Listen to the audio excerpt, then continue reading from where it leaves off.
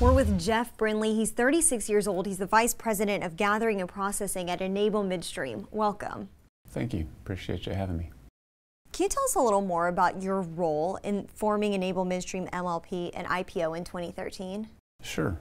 So um, Pipeline and CenterPoint Pipeline merged together in 2013, and together uh, we had a very good complement of pipeline assets that did not necessarily overlap, but uh, did help serve different end users and provide our service to a different array of customers. Uh, so in doing so, we were able to reach from West Texas to uh, Louisiana, access the southeast supply header markets, as well as up to St. Louis and Illinois. And in doing so, it was just, uh, it made sense for both parties, both companies, and then the assets combined uh, in terms of forming what is now Enable Midstream. Uh, we IPO, IPO'd in 2014, and since then uh, we've continued to trade on Wall Street. Um, obviously, timing of such was not great given the downturn in the, in the industry from a pricing standpoint.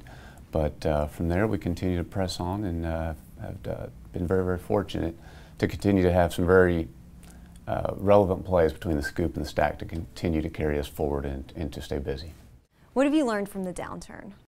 So obviously, in the oil and gas industry, there's a lot of ups and downs. It's a very cyclical business. Um, you better know that when you get into it. Um, I think majority of the people do. That being said, during the downturn, you really have got to figure out how do you shore up keeping your cost in control. Um, obviously, with Enable Midstream being MLP, we're incentivized to grow, as is everybody. But uh, you really have got to figure out what's the most diplomatic and pragmatic way to grow your business, but ensuring that you're getting the most bang for every dollar that you spend. Thanks so much for joining us. Thank you so much for having me. Really, really appreciate the opportunity. For more videos like this, go to oilandgasinvestor.com.